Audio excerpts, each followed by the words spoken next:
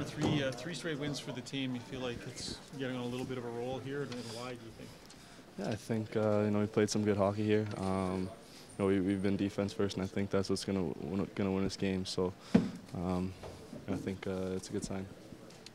Maybe just talk about the sequence that your goal ended up on. I think it started in, in your own end on with Yakupov on the wall there. For sure, it did. Uh, you know, he made a great play on the wall, battling off a couple guys, and uh, you know, chipping it there to, to Benny, and um, you know, obviously Benny made a great pass. So, um, you know, it's a it's a credit to those guys.